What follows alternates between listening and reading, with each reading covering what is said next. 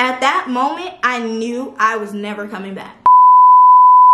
Hey guys, it's Shalaya Dae and welcome back to another YouTube video. So before I start this video, I am being sponsored by Vlook Glasses. So I don't know if you guys ever heard of them, but they're a glasses company that sells glasses frames. So I'm gonna show you guys about five pairs that they sent me. They're really, really super cute. I was able to pick them, so y'all are gonna see my taste. They were able to actually take my contact prescription from my contacts into the actual glasses frame. Normally, a lot of glasses companies, they will take your prescription from your other glasses and put them into other glasses frames. But however, I don't really have any glasses from my provider. So I've only always had contacts. So they literally took my contacts contact prescription and put them directly into all five of these glasses. So if you guys don't have any glasses and you're scared, like, you know, you want your prescription in it and you only got your contacts, you're able to do that. And I thought that was really, really cool. Also, the glasses frames are very affordable. I know that you guys go to your glasses providers and you see the glasses frames and they're ranging from 50 to $70. These are extremely affordable. I think the max is about $10 or 15 So definitely go and check that out. All the links will be in the description below for all of the glasses. So don't forget to shop Vlook Glasses and get you a pair of glasses, y'all. Period.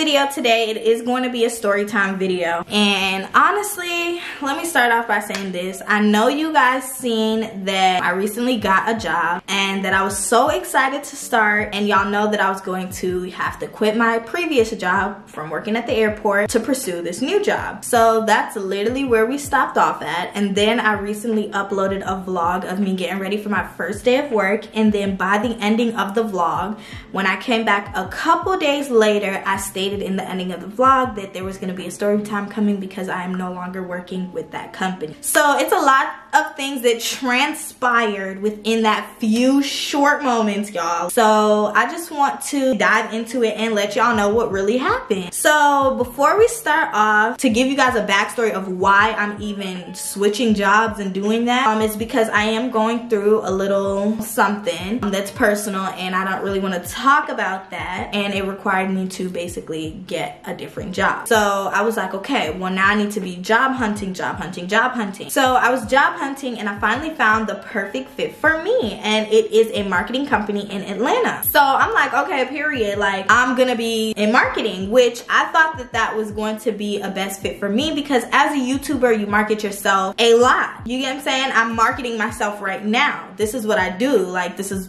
this is who I am and I really enjoy it. So I'm like, okay, marketing might not be that bad. So I end up applying for the job and then by Friday, Saturday is when they told me that I got the job. So I literally was here at Saria's and they told me, yeah, you got the job, da da da da. But basically, let me dive into the interview because I want to tell you guys what was told to me during the interviews for me to even accept the job offer. So number one, they told me that it is an 8 a.m. to 4 p.m. job. So that means the start time of my job would be 8 a.m. and the end time would be 4 p.m. They also said that we were going to be in the field working. So in the field, um, I was not told what in the field was until later. So I was like, okay, what times are we going to be in the field? They told me two to three hours out of my whole workday. So if I am working from 8 a.m. to 4 p.m., only two to three hours I would be in the field. So I'm like, okay, cool, that doesn't sound too bad. They told me that I would be getting paid every week. So I'm not going to tell you guys the max, but I'm definitely gonna tell you guys the minimum. So they told me that the minimum that I was going to get paid every single week was going to be $600 flat okay so i'm like okay that's not too bad because you know i also heard the max and the max was definitely maxing okay then they moved into saying what our job consisted of they told me that we were going to be marketing government issued phones to lower income people so that means anybody that makes under a hundred thousand dollars a year would get a government issued phone for free anybody who gets food stamps, anybody who gets Medicaid, anybody gets disability, any government assistance would get a government issued phone for free. I'm like, okay, this job doesn't seem too bad. When I got the job, they told me that they want me to wear business casual wear because it's a business casual setting, it's a business casual environment. I was excited to wear business casual clothes, like I was just so excited. They also told me the day of them, you know, recruiting me and telling me that I got the job, they told me that, hey, we know that you said that, you know, you work somewhere right now currently, but are you able to give them a one week notice versus a two weeks notice because we need you to work ASAP. So I'm like, okay, you know, um, I'm a little hesitant. I was planning to give my old job a two weeks notice just out of decency to leave on good standings. Even though I did not really want that job no more, I just did not want to leave them on bad standing. So I was like a little hesitant, but they were like, yeah, can you know, you speak to someone and do it one week. So I'm like, you know what, Shalaya, I don't even want to be at my old job anymore, honestly. Like, I really don't want to be there anyway, so I might as well just do the one week and then go to this new new company. So I ended up going to my job, telling them that I want a one week notice and that I got a new job and that, you know, I have to pursue it and so and so. And they were like, okay, that's fine. But if you give a one week, you're not able to use any of your saved up vacation time and you cannot ever come back to the job, period. So I'm just like, okay, well, realistically, I don't want to go back to that job. Anyways, they're paying literally probably like the same amount that I can get anywhere at this point. So it doesn't make sense that I go back to that job. Anyway, so I was willing to take that risk. So I ended up taking a risk, y'all. I honestly don't regret it because it's a learning lesson, but it's like, damn. So anyways, basically, um, the first day of the job, I got ready. That's when I filmed the get ready with me for the first day of work vlog, okay? So that's when I first filmed that. I got ready and I went to work. I stepped into the building, y'all. When I stepped into the building, when I stepped into the building, they had loud music playing like boom, boom, boom, loud ass music. Like, bitch, it was fucking, it was some hood trap music, bitch. It was I Still Your Man on the radio. It was fucking, it was just a whole ass, it's literally, it was just too much going on, bitch. They had Baby on the mic. They had fucking JT. They had City. They had fucking Mulatto. They had all the girls. Like, they really did. They had all the girls on the mic.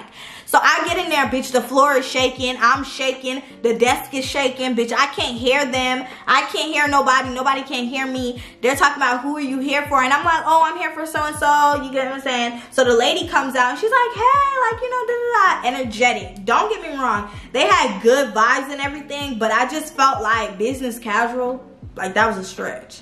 Like bitch, I could have came up in here in jeans and a t-shirt. You ain't have to tell me no business casual, period. But anyway, so she basically, you know, was talking to me for a few minutes and we were talking and then we migrated upstairs. We went upstairs and basically upstairs is a flat area and it has long whiteboards, like four or five long whiteboards in the middle of the floor and it's about 90 people, y'all. 90 people standing up in front of the whiteboards all over the place and they're just like writing on the whiteboards and they're like okay today this is what we're gonna do and da da da, and i'm just looking like what the mind you jt and Lil Baby is on the mic in the back okay they ain't never turned their ass off, okay? They were still on that bitch. They were bumping, they were grinding, bitch. I could I could have said I was at the club. I could have literally wore my club outfit and was shaking my ass. Turn off the lights, my nigga, shaking my ass.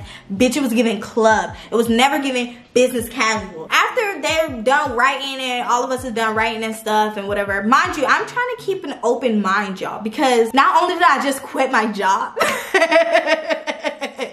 how bad could it actually get? After the whiteboards and everything, the person that I was with, she ended up giving a speech. So her speech was...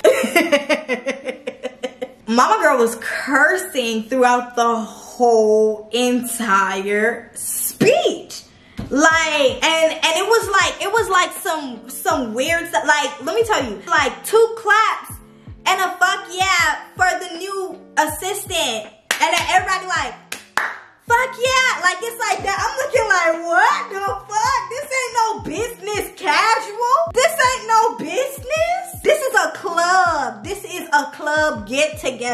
bitch. Period. You couldn't convince me otherwise. Cause baby, this was giving club. It was never giving business casual. But anyways, so after that, I'm just looking like, yo, like they're making me feel comfortable, but it's kind of like uncomfortable at the same time. Like I'm not, when you think of business casual, you think to be, you know, like petite, careful. You don't want to say the wrong thing. Like baby, they were cussing full blown out. And JT and baby was still on the mic. Uh, they were still on the mic. Y'all, they didn't never take the Bluetooth off. They, they, they was still going. So after that, we go back downstairs and that's where we collected all the government issued phones and we put them in a bag and we basically, you know, was headed out. So now I'm thinking like, okay, this is where, you know, we stay in the field for two to three hours. So I'm like, okay, so I'm keeping an open mind. So we scoop up all the stuff and we put them in her car. We left in her car, y'all, okay? So we're on the company site and we, all of us, mind you, all 90 people end up going into all day cars, like two in a car, three in a car maybe, and we all part ways in Atlanta. So now I'm like, okay, well now I need to know where the site at. You get what I'm saying? Like I need to know where the site at. The, the office wasn't too bad, so let me know where the site's at. Y'all, I kid you not, y'all. Tell me where the site was. Tell me where the site was. Bitch, the site was in the ghetto in front of a food depot and Family Dollar. Bitch, we were in the hood. Y'all, we were literally in the fucking ghetto, my nigga. Like, I cannot stress it enough. Y'all, bro, the ghetto, you come out of your car, you see glass on the fucking floor, my nigga. You you pulling up to the drive to, to the parking spot, and bitch, you about to go into the earth's crevice, bitch, and back up to the fucking earth's crust. Okay, bitch, that's, it's giving ghetto. It was ghetto. That's where the homeless people be walking right beside you, bitch, in pajamas. Not even no regular home, pajamas, bitch. You know, you know it's in the ghetto when you walking past, the homeless people walking past you in pajamas. Yo, that shit was so ghetto. It was the hood. Like, literally, it was the hood. We were in the hood. So now I pull up, I'm like, okay, Shalaya, I can thug it out for two to three hours, bro. We, I can thug it out for two to three hours. So we end up coming out the car and we set up. Bitch, we setting up a foldable table, bitch. A foldable table. They had the damn phones on that hole like this. Basically, our job is to go up to these people in the ghetto and be like, hey, I know you're super busy. Do you receive food stamps? Oh, you do? Do you want a free phone? Literally, that's what we're doing, bitch. I'm not no begging somebody to get a free phone ass hoe. Like, it didn't, it never gave that. So, bitch, I was looking like, I know you fucking lying. In my head, I'm literally thinking like, Shalaya, I have to thug it. It's only two to three hours. Like, you can say, I can thug it. I can be the thug. Like, period. So I'm thugging it, thugging it, thugging it. Lunch break come up. Bitch, guess what we was doing for lunch? How about we went and got Wendy's, sat that bitch on the foldable table, that bitch. Men can breathe on that bitch and the shit turned the fuck over, bitch. And I'm just literally eating in front of a fucking Food Depot plus Family Dollar in the fucking ghetto. I'm looking like, child, this is not the lifestyle for me. Like, trust me, like, I like the marketing scene, but it, it wasn't giving marketing, honestly. It was giving something else. It just wasn't giving what it was supposed to give. So basically, after we ate and everything, we continued to sell the phone. So now it's going on like the third hour, going into the fourth, and I'm just looking like... when are we packing up shop? So I look at her and I'm like, oh, what time do we leave? She said, sis said six. Bitch, do y'all know what time we got out there? We got out there at 11. 11, 12, 1, 2, 3, 4, five, six, bitch, that's the whole damn shift. Imagine, imagine I'm out this motherfucker for the whole shift, my nigga. We're outside the whole shift in the ghetto, sweating in a fucking blazer. Bitch, are you ridiculous? Now, I'm being told our field time is now not two to three hours, it's fucking eight hours. So that's number one. The way that we were selling, having to sell these, I just, it just didn't, it wasn't clicking to me. So then we end up going home that day and I went home and I freaking cried. So that first day when I filmed the getting ready for my first day of work, I could not get back on camera. I was literally crying my eyes out. Like y'all, I was crying my soul and eyes out. Like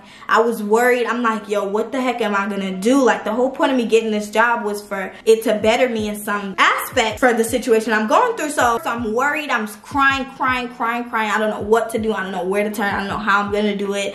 Like I'm literally bawling my eyes out. I end up praying that night after I cried. Like I end up showering, praying, and I read like this Bible plan on the Bible app, and it was like um, how not to worry. And I read it and I prayed and literally left it in God's hands. And ever since that, today is now September 10th, and I probably got the job. I started the job probably on the 24th or something of August, and I genuinely have been good. Like I prayed about it, left it in God's hands, and I don't worry, I don't cry about it. I'm literally perfectly fine. But after that first day, basically, I cried, prayed, and just left that. And then I went back the next day because I'm like, Shalaya, I have to thug it out until I actually find another job, at least. So I end up getting ready, going to the job. Once I got there, they were like, okay, so your shift start time is 9 to 6. So now I'm looking like, huh?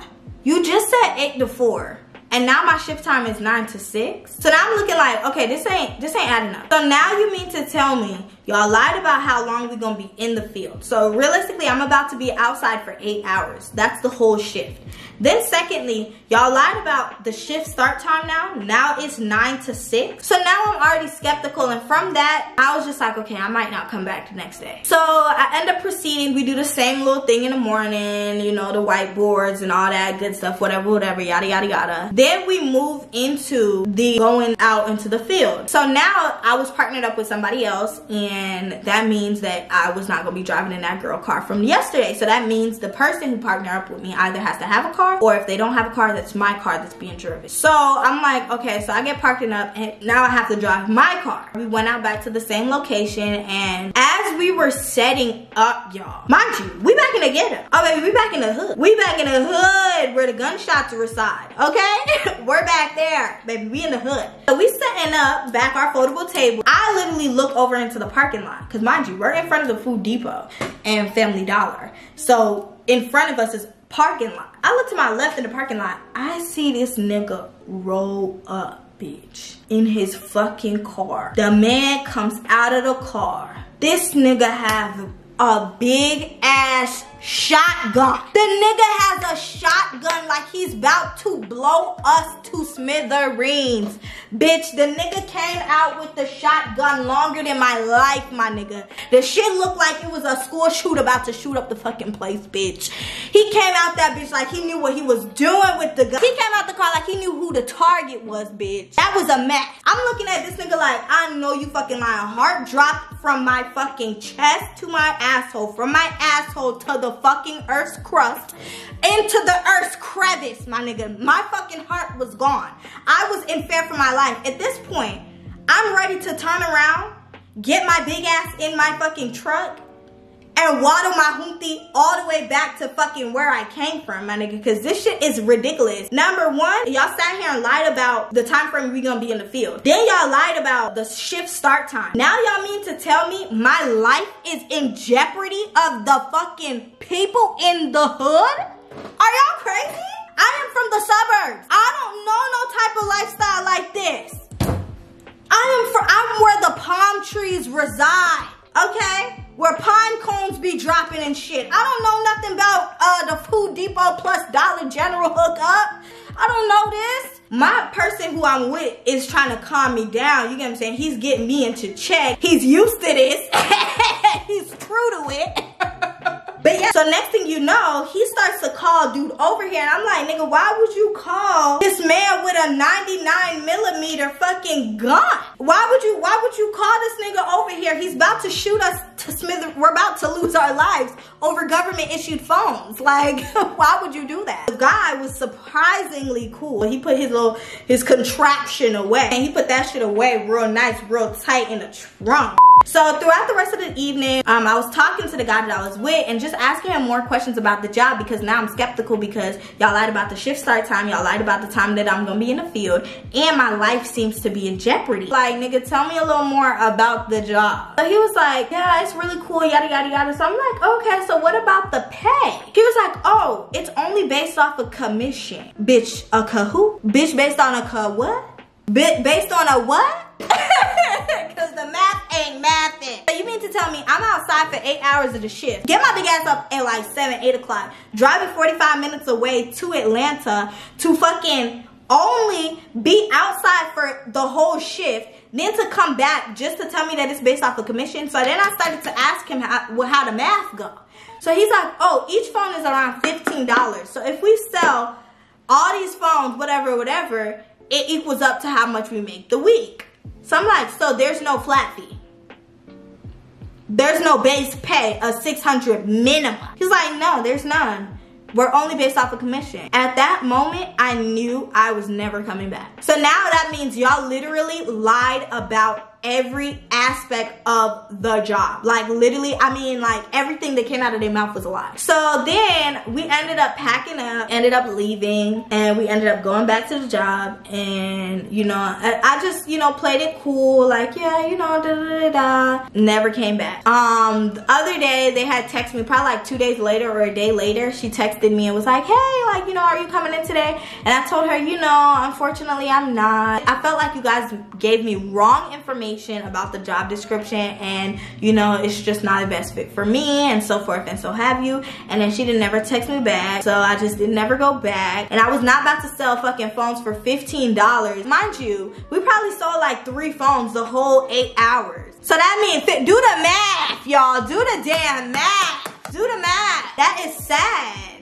Baby, I would not be bringing no money back depending on these people. I'm depending on people in the streets. No, I'm depending on the people in the hood. No, I'm not doing that. I could not believe it. Then they made me quit my job, left my old job in not good standings because y'all wanted me to come to a job that y'all lied about. Like that was so foul. Like that was so, so foul. But I definitely learned my lesson and won't ever happen again. You win some and you lose some, y'all. And this is a prime example of that. I'm definitely not worried, like I said. I just been, you know, doing YouTube, been more, you know, onto YouTube. Like y'all see my other vlog. I did be a hookah girl for a night and I am getting offered a bottle girl position as well. So I am gonna be a hookah girl and bottle girl, but I am currently still looking for better employment as well because you know just to be you know more stable. But i'm also going to be doing youtube and sponsors and everything like that. So i'm still having money flow in so it's not